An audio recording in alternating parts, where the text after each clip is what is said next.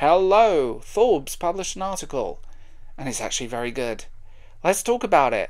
I'm Will, I'm the host of the Bald Book Geek. Like, sub, do the usual, and don't forget if you want exclusive content or early access to content, please consider becoming a channel member or joining my Patreon. Let's start the show.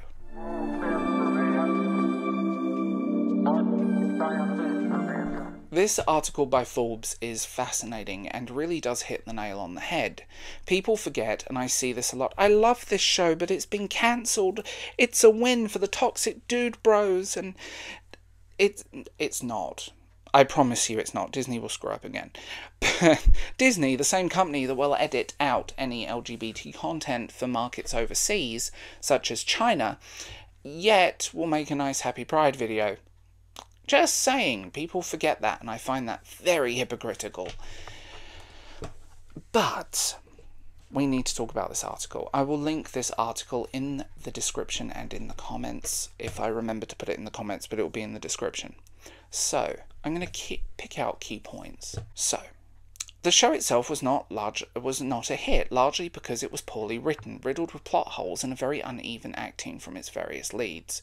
It looked cheap despite its enormous costs. While some outlets want to paint the cancellation as a win for toxic dude bros in the fandom, as if no women could possibly have disliked the acolyte, and others saying its failure will cause Disney to avoid trying new things, the real culprit is twofold. The show was far too expensive, and it did not draw big numbers to justify the cost. The show was far too expensive and did not receive critical acclaim or widespread fan support. Both of these factors include a common theme. The Acolyte simply cost far, far too much, and the investment was not met with a huge viewership numbers like The Mandalorian or Andor. So, it breaks down the costs. It didn't look expensive. I thought the show looked quite cheap, if you want the honest truth. The Acolyte is the second most expensive show on Disney's list.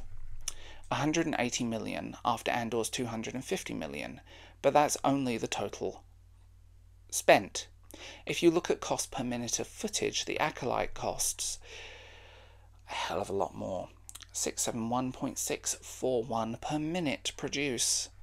And Andor cost 150,000 less per minute, thanks to a longer um, ep- episode count, basically. No other Disney show, Disney Star Wars shows received 12 episode season, and very few episodes across all of Star Wars were as long. It was a very expensive show to produce. As you can see in the chart, to quote this article, Andor ran for two and a half hours longer than to- longer total than the other shows. I mean, let's just put this into real numbers. If you are spending this amount of money on a show and you are creating something and you are putting something out there, it's not about art. It's not about artistic freedom and these great writers and a person behind it being the former showrunner of Harvey Weinstein. We must remember that, and I will mention that repeatedly. I mean, creep, right? I mean, let's be real here. This show cost too much and performed far worse than any other Disney Plus Star Wars series, and that's why it was cancelled. If it had been hugely popular, with viewership numbers closer to The Mandalorian than Andor, it certainly would have been renewed. But critical reaction was lukewarm, and fan reaction was largely very negative. Viewers didn't show up to watch it, and I don't believe it was due to the show's diversity or new setting in the High Republic, but the overall sense the show was poorly executed, with a gimmicky twin storyline that never worked. Some truly abysmal moments like the witch, Chance, and the biggest star killed off in the first five minutes. And this is the thing that is true. I think the uneven storytelling, I think the poor writing, and I think the fact the show was so uneven, and then actors behaving badly in public when they were told not to by the company producing the show is very telling. They also pinpoint in this article, uh, the person that wrote this, I do think the Acolyte had potential, and perhaps the second season could have realised that potential. But I remain baffled at Disney's placing this much trust and this kind of budget in the hands of someone with very little experience. It reminds me of the train wreck that is Amazon's Rings of Power, a series with a huge budget and showrunners with very little experience. And I agree with this. Disney needs to try new things. Let's be honest here. And I think, and highlight some of the comments in this article, the main problem with Star Wars since LucasArts joined Disney is the lack of clear vision or strategy of the franchise. They are throwing mud at the wall and seeing what sticks. That's the problem. They're trying every new thing they can to try and squeeze in different genres. They've done it with the MCU, and it doesn't work. And it's fascinating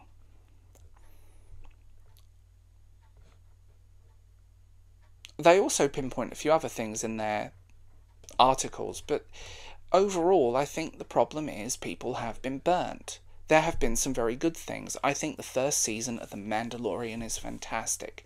Rogue One. My god, I love that movie.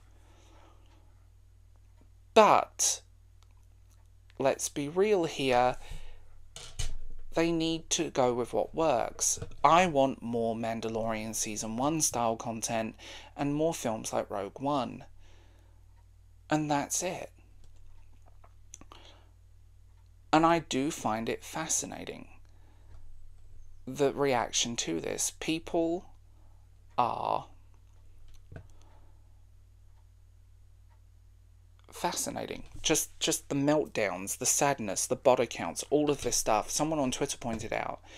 The Acolyte was constantly in the Nielsen top 10, and the Disney metric for renewing is now apparently series must be in the top 5, or must be top of the ratings of the previous series. It's a mindset born of capitalist growth and not creating compelling stories.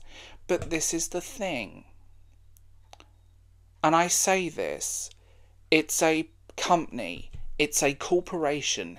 Disney want to make money. Disney are bleeding money. So let's just make a show that works. Let's make something that works. And seeing some of the people seethe over this, like I said in my previous video, and I, one account, uh, one thing I do kind of agree with here. Unfortunately, the acolyte was not good for straightforward, mundane reasons, like most other Star Wars show. But it got culture warred in an extreme, in extreme bad faith, and I do agree. There was definitely some people that took it way too far. I watched it before making judgments, and uh, oh, that Jacob dude. Massive day for incel YouTubers with under 10k subscribers making the worst clickbait and problematic videos you've ever seen. Every video on YouTube is clickbait, dude. Review bombing got so bad they completely unrelated movie called Acolyte starting. Uh, yeah. The people. I think people do go too far. I think there is a whole thing. And yeah, this is cool, but why would we want more of this when you could have CGI Uncanny Valley Luke Skywalker in every single Star Wars project? Uh, this is my thing. I both agree and disagree with a lot of what people are saying, and I can kind of find some middle ground. I do think there are people that went too far. But this is also the thing. Companies need to make money. People people that make these shows need to make money. It needs to have consistent viewership. It's not about art. It's not about being creative. But I mean, this is the thing. One person put it's generally a bleak time for television, not just because the acolyte, everything gets cancelled, nothing gets a chance to find its footing like before. Companies wonder why no one watching and no one wants to get involved in unfinished stories, which is true, but the ultimately the problem is here this show fell out of numbers, and that's it. And I do think the way we consume television now is completely different. And maybe the episode format is not good. Maybe they should start dropping series so people can binge watch, or at least finish a story arc in that first season, rather than just leaving it on footnotes. Another person put, I rewatched Buffy, and while you see the sparks of greatness, the first few episodes are so clunky, peg legged. Like, yeah, but Buffy's audience grew, it didn't die.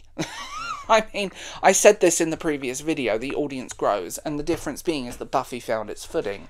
This show remained consistently awful from day one. I didn't like the pilot. I thought it was weak, and it seemed to have some sparks of greatness in that first two episodes, and then it just kind of fell apart. Plot holes, poor writing, poor acting, and Disney, and I hate saying this as much as I don't like Disney, are right to make this decision. At the end of the day, it should. Television is about profit, and that's it. That's all it is. It's about what makes money, what gets a viewership, what gets an audience. And the only reason Rings of Power is getting more seasons is because of a contract, not because people are watching it. Let's be honest here. And that's the difference. So, I will leave this here. Talk to you guys later. Hate me all you want in the comments. And have fun. Bye.